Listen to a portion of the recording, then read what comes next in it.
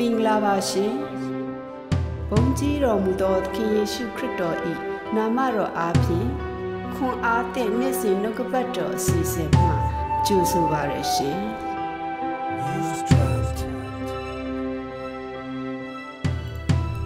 ရှေးဥစွာဘုရားသခင်ရဲ့ကျူးတော်ကိုရည်တွက်ပြမချီးမွမ်းပါတယ်အခုလိုခရစ်စမတ်အချိန်ကာလမှာ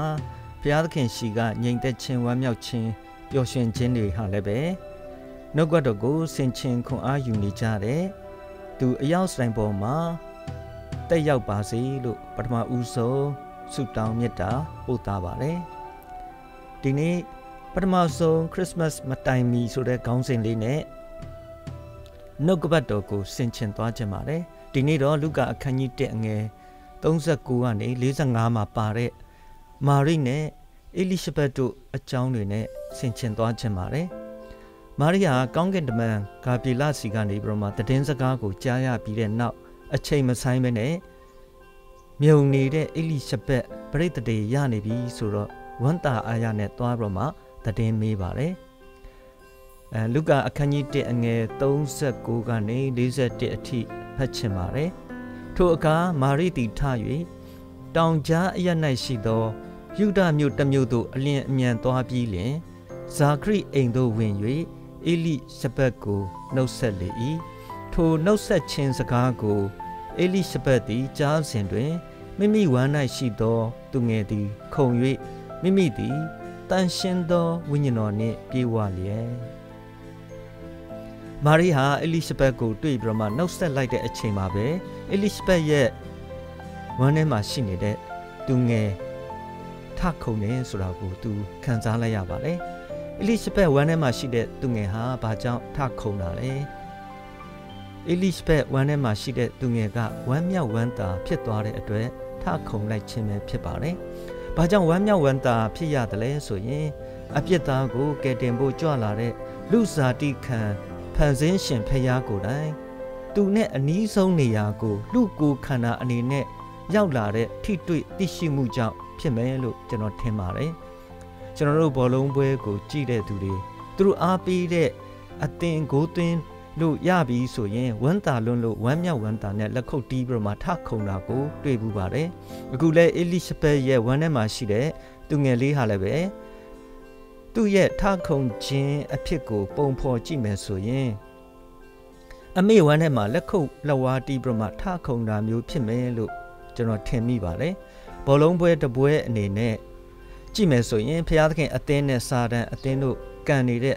ပွဲဖြစ်မယ်လို့ပြောနိုင်ပါတယ်ဒီလိုဝမ်းမြောက်လို့ထခုန်လိုက်တဲ့တွင်းကိုဟာဖျားသခင်ဘက်ကနေပြီးတော့မှစာတန်ကိုခြေပလိုက်တဲ့ဂိုးလို့ပဲပြောရမယ်ထင်ပါတယ်ဘာဖြစ်လို့လဲဆိုရင်စာတန်ဟာတလုံးကလုံးမှလှည့်ဖြားပြီးတော့မှသူ့ဘက်ကဥဆောင်ပြီးတော့မှဂိုးတွေကိုတလုံးပြီးတလုံးတွင်းနေခဲ့တာဖြစ်ပါတယ်လူတွေဟာဘာကြောင့်စာတန်ရဲ့ဂိုးတွေ အသွင်းခံရပြီးတော့မှရှုံးနေရတာလဲဆိုရင်တမာတရားအဖြစ်မကာကွယ်နိုင် အကာအကွယ်မရှိနေတဲ့အတွက်ဖြစ်ပါတယ်တတလောနေဩရာစာဒုတိယဆောင်အခန်းကြီးနဲ့အငယ်30ကိုကြည့်မယ်ဆိုရင်ပျက်စီးခြင်းသို့ရောက်တော်သူတို့တွင် မတရားသောလှည့်ပြားခြင်းအမျိုးမျိုးတို့နှင့်၎င်းလာလိမ့်မည်အကြောင်းမူကားထိုသူတို့သည်ကဲတင်ခြင်းသို့ရောက်အံ့သောငါတမာတရား၌မွေ့လျော်သောစိတ်ကိုမခံမယူကြ စာတန်ဟာလူတွေပျက်စီးခြင်းအတွက်ပဲအလိုရှိနေတဲ့အတွက်ကြောင့်မလို့လှည့်ပြားခြင်းအမျိုးမျိုးနဲ့အစင်ပဲတိုက်ခိုက်နေပါတယ်။တမာတရားကိုမသိတဲ့သူတမာတရားနဲ့အတူအသက်မရှင်တဲ့သူတွေကတော့ခဏခဏစာတန်ကိုအသွင်းခံနေရတယ်လို့မျိုးကြာဆုံးခြင်းနဲ့တွေ့ကြုံနေကြရမှာဖြစ်ပါတယ်။အခု Elizabeth ဝမ်းထဲမှာပရိသတ်ဒေသအနေနဲ့ရှိနေတဲ့ဗတ္တိဆန်ဆရာယောဟန်ကလောကမှာ ကယ်တင်ရှင်ကြွလာတော့မယ်ဆိုတဲ့သိရှိခံစားလိုက်ရတဲ့အတွက်အခုနဘောလုံးစကားနဲ့ပြောရမယ်ဆိုရင်ဘုရားသခင်ဘက်ကနေပြီးတော့မှခြေပကိုစသွင်းတယ်လို့ခံစားလိုက်ရတာဖြစ်တဲ့အတွက်ထခုံလိုက်ခြင်းပဲဖြစ်ပါတယ်။ဒါဟာဗတ္တိဆန်ဆရာဖြစ်လာမယ်ယောဟန်ရဲ့အေလိရှဘက်ဝန်းထဲကသူငယ်လေးရဲ့ဝမ်းမြောက်ခြင်းပဲဖြစ်ပါတယ်။ယောဟန်ဟာ အမိဝမ်းထဲမှာဖျားသခင်ရဲ့တန်ရှင်းသောဝင်တော်အားဖြင့်ပြည့်တဲ့အသက်တာရှိနေခဲ့ပေမဲ့လေသူဟာအပြစ်သားဖြစ်တဲ့ဖခင်ဇာခရိအမိဖြစ်တဲ့အေလိရှဘက်တို့ရဲ့ဇာတိအားဖြင့်မွေးဖွားလာတဲ့သူဖြစ်တဲ့အတွက်လေသူကိုယ်တိုင်အပြစ်သားဖြစ်တဲ့အတွက်ကဲတင်ခြင်းလိုတယ်ဆိုတာကိုအမိဝမ်းထဲမှာရှိနေကြတဲ့ကသူသိနေခဲ့ပြီးသားဖြစ်ပါတယ်ဒါကြောင့်မာရိဝမ်းထဲက ယေရှုအားဖြင့်ကယ်တင်ခြင်းရတော့မယ်ဆိုတာကိုသိလိုက်ရတဲ့အတွက်လည်းဝမ်းမြောက်ဝမ်းသာနဲ့ထခုန်လိုက်ခြင်းဖြစ်တယ်လို့ယူဆရပါတယ်။ဒါကတော့အမိဝမ်းထဲမှာတတိတည်နေတဲ့သူအချင်းချင်းစုံတွေ့ခြင်းအဖြစ်အပျက်ပဲဖြစ်ပါတယ်။အထဲမှာရှိတဲ့ရင်သွေးလေးယောဟန်လေးဟာဝမ်းမြောက်လို့ခုန်လိုက်တဲ့အချိန်မှာအေလိရှဘက်အနေနဲ့ကလည်းတန်ရှင်းသောဝင်တော်ဖော်ပြခြင်းအပြင်မာရိအတွင်းမှာသူ့ကိုကယ်တင်မဲ့သခင်တည်ရှိနေတာကိုလည်း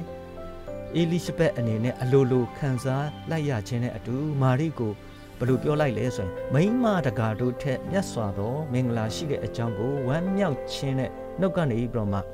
ချီးမွမ်းပြောဆိုလိုက်တာကိုလည်းတွေ့ရပါတယ်ပထမဦးဆုံးခရစ်စမတ်မတိုင်ခင်ဒီအဖြစ်အပျက်တွေဟာဖျားသခင်ရဲ့ပြင်ဆင်လှုပ်ဆောင်မှုကိုအသုံးခံကြတဲ့သူတွေဝမ်းမြောက်ခြင်းခံစားနေရတယ်လို့အပြစ်လောကတလောကလုံးနဲ့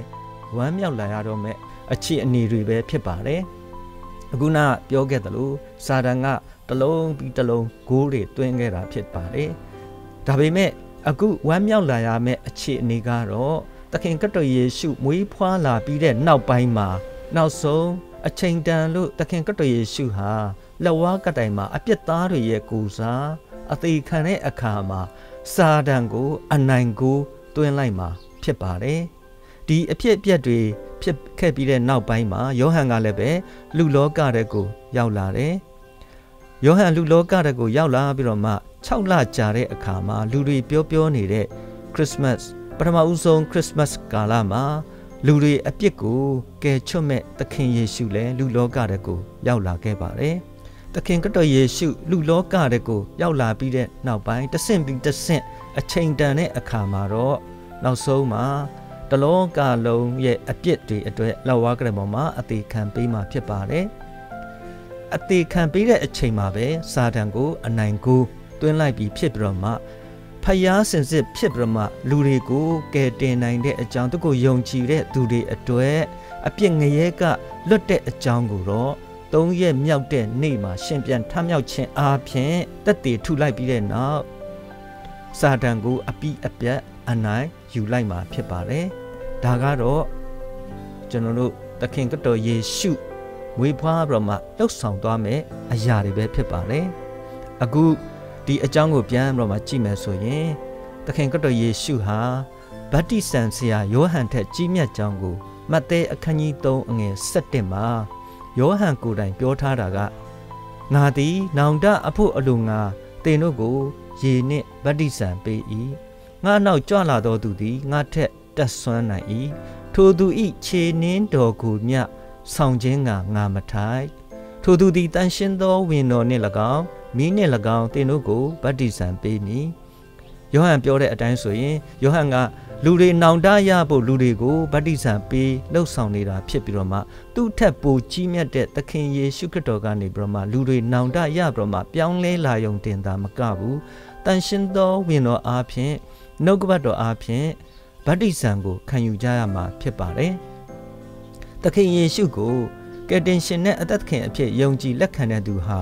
ဗတ္တိဇံဆိုတဲ့အတိတ်ပဲအတိုင်း သခင်ယေရှုနဲ့အတူလက်ဝါးကတိုင်မှာအသေးခံခြင်းတင်ချိုင်းထဲမှာတကြိုခံခြင်းသခင်ယေရှုနဲ့အတူရှင်ပြန်ထမြောက်ခြင်းသခင်ယေရှုနဲ့အတူတန်ရှင်သောဝင်တော်နဲ့အတူအသက်ရှင်နေခြင်းဆိုတဲ့နှစ်နေတဲ့ဘုရားသခင်ရဲ့လှုပ်ဆောင်ပေးတဲ့အရာတွေကိုခံစားကြရမှာဖြစ်ပါတယ်။ယောဟန်နဲ့သခင်ယေရှုခရစ်တော်အပြင်မှာလူကိုယ်တိုင်စုံတွေ့မှုကိုတော့မဿဲအခန်းကြီး3အငယ်73ကနေ79မှာတွေ့ရပါတယ်။ အဲ့ဒါကတော့ဗတ္တိဇံဆရာယောဟန်လူတွေကိုနောင်တရဖို့ဟောပြောပြီးမှဗတ္တိဇံပေးနေတဲ့အချိန်မှာတွေ့ဆုံခဲ့ခြင်းပဲဖြစ်ပါတယ်။သခင်ယေရှုခရစ်တော်ဟာသူ့ရဲ့အမှုတော်အစမှာဗတ္တိဇံဆရာယောဟန်စီမှာဗတ္တိဇံခံဖို့သွားခဲ့ပါတယ်။သခင်ယေရှုခရစ်တော်ဗတ္တိဇံဆရာယောဟန်စီမှာဗတ္တိဇံခံခြင်းဟာသခင်ယေရှုဟာအပြစ်ရှိတဲ့အတွက်နောင်တရတဲ့အတွက်ခံခြင်းမျိုးမဟုတ်ပါဘူး။လူသားစင်စစ်တယောက်အနေနဲ့ အလုံးစုံသောတရားကိုကျင့်ရမယ့်အရာအတွက်လှုပ်ဆောင်လိုက်ခြင်းပဲဖြစ်ပါတယ်။လူသားစစ်စစ်တဲ့မှာသခင်ယေရှုခရစ်တော်ကလွဲပြီးတော့မှအကျင့်တရားနဲ့ပညတ်နဲ့ပြည့်စုံတဲ့သူလိုက်နာနိုင်တဲ့သူတရားမှမရှိပါဘူးသခင်ယေရှုခရစ်တော်ဟာလူသားတစ်ယောက်စီပြုရမယ့်အရာကိုစုံလင်အောင်လုပ်နေခြင်းပဲဖြစ်ပါတယ်အဲ့ဒီမှာကြည်မယ်ဆိုရင်သခင်ယေရှုဟာသုံးပါးတဆူအနေနဲ့ဖျားဖြစ်ကြောင်းကို ခမဲတော်ဖျားရဲ့အတန်သက်တည်တန်ရှင်းသောမြင်တော်ဖျားရဲ့ဂျိုးငက်အားဖြင့်ဆင်းလာတဲ့သက်တည်လူသက်တည်အနေနဲ့ယောဟန်ရဲ့နှုတ်ကပြောဆိုလိုက်တဲ့သက်တည်တွေကိုတွေ့ရပါတယ်ဒီသက်တည်တွေအားဖြင့်ပထမဦးဆုံးသောခရစ်စမတ်ပြီးတဲ့နောက်ပိုင်းမှာစာရန်အုပ်ဆိုးမှုကြောင့်အတိတ်ပဲမဲ့နေခဲ့တဲ့အပြစ်လောကကြီးဟာဘုရားသခင်ရဲ့မေတ္တာကြောင့်အတိတ်ပဲတွေပိုးပြီးမှရှိလာခဲ့ပါတယ်မိတ်ဆွေရဲ့အသက်တာကိုပြန်ပြီးမှစဉ်းစားကြည့်ပါ အသက်တာဟာအတိတ်ပဲမဲ့နေသလားအတိတ်ပဲရှိနေသလားအတိတ်ပဲမဲ့နေတယ်ဆိုရင်ပထမဦးဆုံးခရစ်စမတ်မတိုင်မီမှာအေလိရှဘက်နဲ့မာရိဝမ်းမြောက်ရတယ်လို့မျိုးအတိတ်ပဲနဲ့ပြည့်စုံတဲ့အသက်တာတွေကိုခံစားနိုင်ဖို့မိတ်ဆွေအတွေ့ဘုရားသခင်လှုပ်ဆောင်ပေးခဲ့တဲ့သခင်ယေရှုခရစ်တော်အားဖြင့်ပြုပေးခဲ့တဲ့ကယ်တင်ခြင်းကိုစိတ်လုံးနှိမ်ချစွာနဲ့ယုံကြည်လက်ခံလိုက်ဖို့ဖြစ်ပါတယ်။သခင်ယေရှုခရစ်တော်ကိုမိတ်ဆွေအသက်တာထဲမှာရရှိနေပြီဆိုရင်တော့ အီလိစဘက်လိုယောဟန်လိုမာရိလိုခံစားရတဲ့ဝမ်းမြောက်ခြင်းကိုခံစားရပါလိမ့်မယ်။အခုလိုကပ်ဘေးကြောင့်ကိုယ်ခန္ဓာစိတ်ဝိညာဉ်သုံးပါးလုံးဆင်းရဲမှုကြုံနေရတဲ့အချိန်မှာသခင်ယေရှုခရစ်တော်အားဖြင့်စစ်မှန်တဲ့ဝမ်းမြောက်ခြင်းကိုခံစားနိုင်ကြပါစေ။အာမင်။ဤခွန်အားသည့်နှုတ်ကပတ်တော်အစီအစဉ်သည် နေ့စဉ်တင်ဆက်သောအစီအစဉ်ဖြစ်သောကြောင့်စောင့်မျှော်၍ဝိညာဉ်ခွန်အားယူပါရန်မေတ္တာဖြင့်လို့ဆော်အပ်ပါသည်။